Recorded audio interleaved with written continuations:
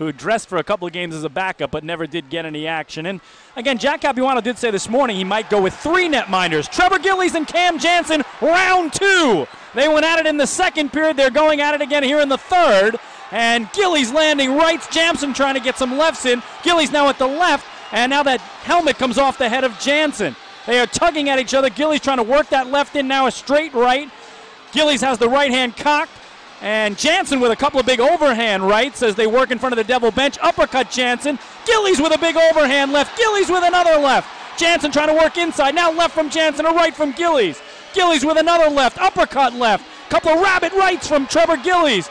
Oh, Gillies working that rabbit right into the face of Janssen, who comes overhand right. Gillies with the overhand left. Couple of rabbit rights. Big left from Gillies. Oh, they're going toe to toe, the heavyweights here. Really having at it as the last period fight was just a preview for this one. They have got to be exhausted as they spin each other around.